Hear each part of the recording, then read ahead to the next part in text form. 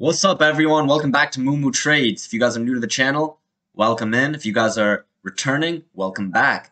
Um, today's video is going to be a different kind of video. It's just going to be a live trade that I took without any commentary. Um, I'm currently overseas, so I don't have too much time on my hands right now, but I did take this trade right here. It was uh, during pre-market hours.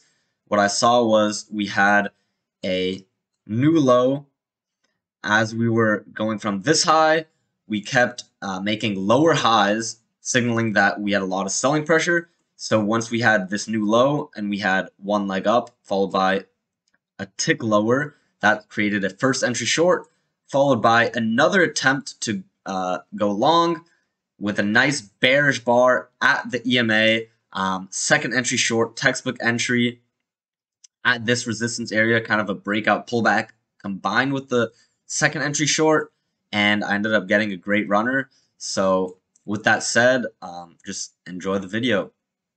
Peace.